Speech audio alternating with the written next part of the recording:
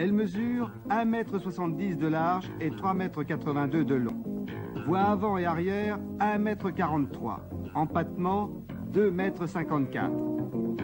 Son esthétique, particulièrement agressive et sportive, témoigne cependant de sa filiation avec la famille 205. A noter son spoiler avant avec phare longue portée intégré, son béquet arrière et ses prises d'air latérales.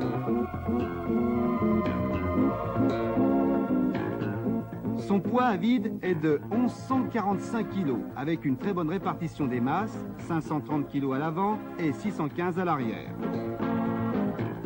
Toute la partie arrière s'escamotant à la manière d'un capot, l'accès aux organes mécaniques est grandement facilité.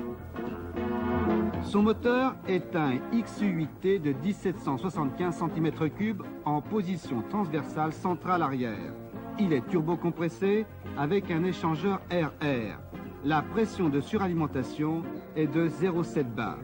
Il développe 200 chevaux à 6750 tours minute pour une puissance administrative de 9. Alimenté par injection, il possède 4 soupapes par cylindre et 2 arbres à cam en tête. Son allumage cartographique est entièrement électronique. Le résultat de cette formidable mécanique, une vitesse maximum de 210 km/h et des accélérations remarquables. Moins de 6 secondes de 0 à 100 km h 27 secondes au 1000 mètres départ arrêté. Ces résultats sont aussi le fait de sa transmission à 4 roues motrices qui assure, quelle que soit la nature du sol, d'une motricité phénoménale. La répartition de la puissance est de 1 tiers sur l'avant et 2 tiers sur l'arrière. Trois différentiels à glissement limité, un central, un à l'avant, un à l'arrière, dont les réglages sont 17% sur l'avant et 40% sur l'arrière. Les suspensions avant et arrière sont constituées de deux triangles superposés, d'amortisseurs hydrauliques télescopiques à ressort hélicoïdal et de barres anti-dévers. Les deux triangles superposés facilitent tous les réglages suspension dans le cadre de la compétition et autorisent l'adoption de pneumatiques de large dimension.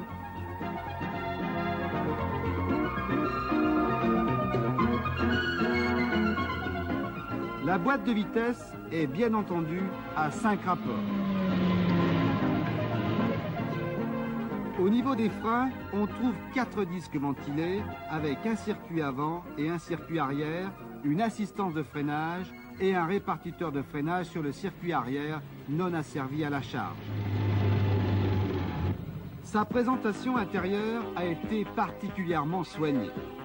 Planche de bord, volant, panneaux de porte ainsi que les côtés des sièges de type baquet sont recouverts de cuir. On trouve enfin l'instrumentation complète d'une voiture sportive avec de nombreux témoins d'alerte et de nombreux cadrans. Contour, pression du turbo, niveau de carburant, température d'huile, pression d'huile et température d'eau. Puisque cette voiture n'a maintenant aucun secret technique pour vous, je vous propose d'admirer sa maîtrise en matière de conduite. Un pilote d'automobile Peugeot vous emmène depuis Paris à travers diverses régions de France. Tout cela pour votre plaisir, bien sûr.